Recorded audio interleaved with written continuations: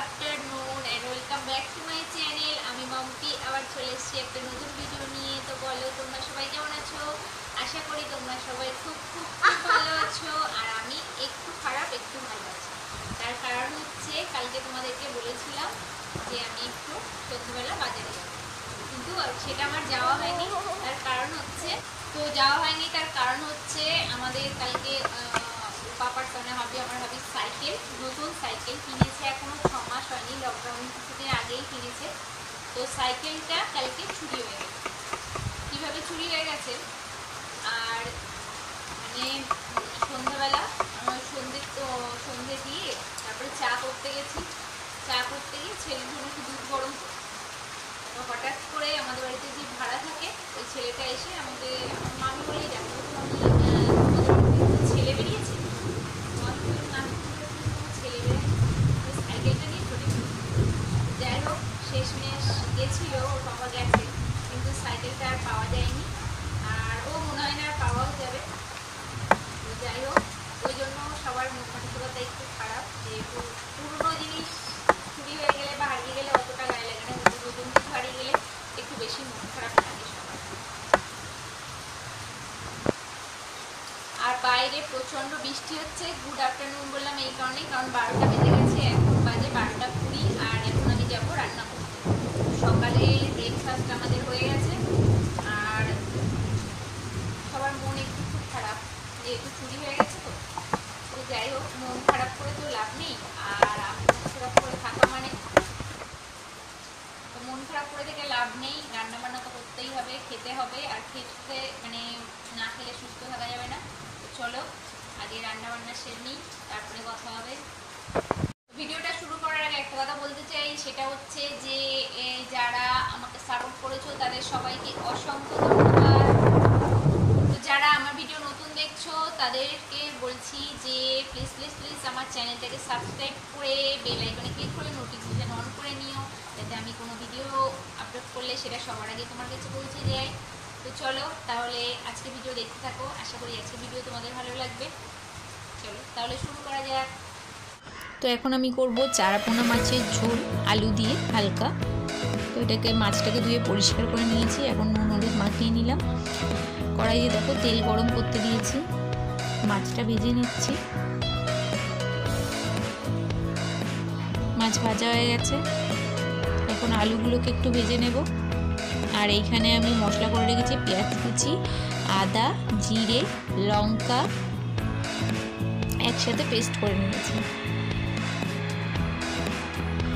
আলুটা ভাজতে দিয়েছি, আলুটা একটু ভেজে নেব।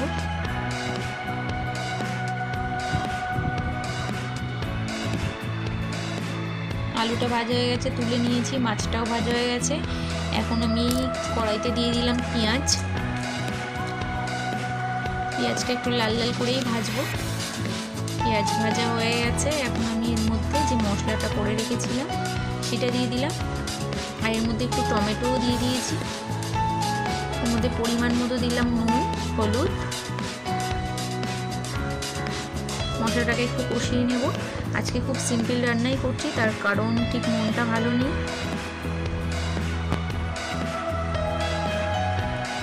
আলুটা দেওয়ার পরে একটু ভালো করে কষিয়ে নিচ্ছি। তো কষানো হয়ে গেছে, জলও দিয়ে দিয়েছি।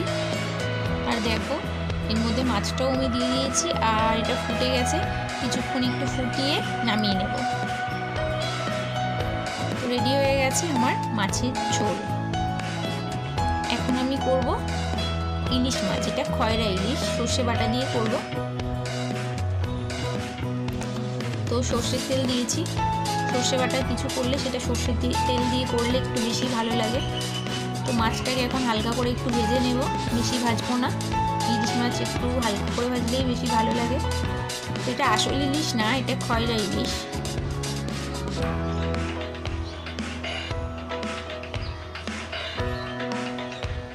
মাছটা ভাজা হয়ে গেছে। সর্ষে বাটার মধ্যে আমি জল দিয়ে দিয়েছি। আমি সর্ষে বাটার জলটাই দেব। আর কড়াইতে দিয়ে দিলাম কালো জিরে ফোড়ন। এটা ভাজা হয়ে গেছে, এখন আমি দিয়ে দিচ্ছি সর্ষে বাটার জল। তো এটা ছেঁকে দিলাম আর নিচে অবশিষ্ট যেগুলো থাকবে সেগুলো ফেলে দেবো। এখন এর মধ্যে দিয়ে দিয়েছি একটু হলুদ গুঁড়ো আর অল্প একটু নুন। তো এটা ফুটে গেছে, এখন আমি এর মধ্যে দিয়ে দেবো মাছ ভাজাগুলো। অনেকে সর্ষে বাটা খেলে গ্যাস হয়, যার জন্য পেঁয়াজ বাটা বা জিরে বাটা দিয়ে মাছের ঝাল করে খায়। তো তারা একবার এইভাবে ট্রাই করে দেখতে, এটাতে শুনেছি গ্যাসটা অনেক কম হয়। আর যদিও বা আমার সর্ষে বাটায় কোনো অসুবিধা হয় না, এটা কিছুক্ষণ ফুটিয়ে আমি নামিয়ে নেব। নামানোও হয়ে গেছে রেডি হয়ে গেছে আমার সর্ষে ইলিশ। যদিও বা এটা আসল ইলিশ না, খয়রা ইলিশ। তো তোমাদের যদি আমার ভিডিও ভালো লেগে থাকে, তাহলে অবশ্যই একটা লাইক কমেন্ট আর শেয়ার করে দিও। এসেছি ছাদে, বৃষ্টিটা একটু কমেছে আর আমি ওই যে কটা ভিজে জামা কাপড় ছিল ওইগুলো একটু দিতে এসেছি। তো ওইগুলো একটু দিতে এসেছি আর আবার মেঘ হয়েছে, দেখো। আবার মনে হচ্ছে অন্ধকার হয়ে আসছে, এখনই হয়তো আবার বৃষ্টি নামবে। তো খাওয়া দাওয়া হয়ে গেছে, দুপুরের খাওয়া দাওয়া কমপ্লিট আর ছেলেকে ঘুম পাড়ালাম, ঘুম পাড়িয়ে তারপরে আমি একটু ছাদে এসেছি, আর যেহেতু রোদ্দুর নেই, ওই জন্য ছাদে এখন এসেছি। এখন বাজে হচ্ছে তোমার সাড়ে তিনটের, একটু বেশি বেজে গেছে। কারণ আমি সাড়ে তিনটে বাজে তখন ছেলেকে ঘুম পাড়িয়েছি। ও তো ঘুমাবেই না, তো অনেক কষ্টে তারপরে ঘুম পাড়িয়েছি। কারণ এই কদিন দুপুরে ঘুমাতেই যাচ্ছে না, যেহেতু সকালে একটু লেট করে উঠছে, ওই জন্য। আর হচ্ছে আজকে যা রান্না করলাম, খুব সিম্পল রান্নাই করেছি। আর যে একটা ইলিশ মাছ, ওটা হচ্ছে খয়রা ইলিশ বলে। মানে আমরা তো খয়রা ইলিশ বলি, কে এক একজন এক একটা মানে মাছকে এক এক নামেই, সেটাকে অন্য নামে জানে। তো সেই রকমই তো সকালে এসছিল, তো আমি বললাম যে কেমন মানে আমার শাশুড়ি মা নিচ্ছিল বারণ করলাম বললাম যে কেমন হবে তার ঠিক নেই, নিলে একটাই নাও, যদি ভালো লাগে তাহলে নেক্সট দিন আরেকবার খাব। তো একটাই নিয়েছিল, তো এটা ঝাল করেছিলাম। ভালো লেগেছে মানে ইলিশ মাছের মতো না হলেও অনেকটাই ওরকম টেস্ট কিন্তু ভালো খেতে।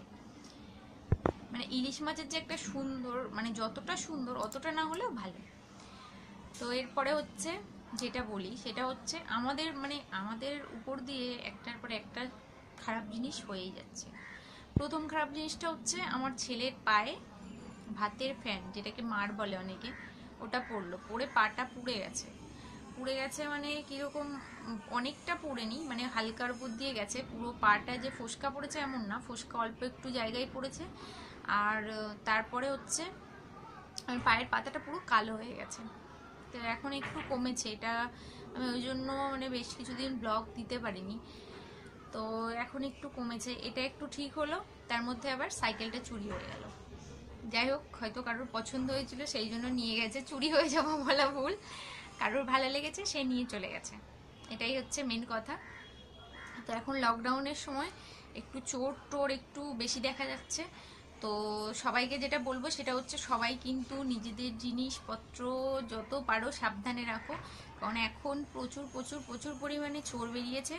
আমাদের তোমার যেদিন আমাদের সাইকেলটা চুরি হলো মানে কালকে আর কি, তো তখন আমাদের সাইকেলটা খুঁজতে একটু বাইরে বেরিয়েছে যে চোরকে যদি ধরা যায়। তো এবার কিছু দূর গেছে, আমাদের যে পাশের পাড়া, ওইখানে গেছে। ওইখানে গেলেই ওরা বলছে যে ওদের ওইখান থেকেও তার মনে হয় দশ পনেরো মিনিট আগেই একটা সাইকেল নিয়ে চলে গেছে। তো যাই হোক, হয়তো গ্যাং ধরে বেরিয়েছিল, যেখানে যেটা পেয়েছে সেটা নিয়েছে। তো আমাদের সাইকেলটা মানে কতটা সাহস ভাবতে পারছ? গেট খোলা মানে ঘরের যে ফ্লক্সিবল গেট ওটা খোলা আছে।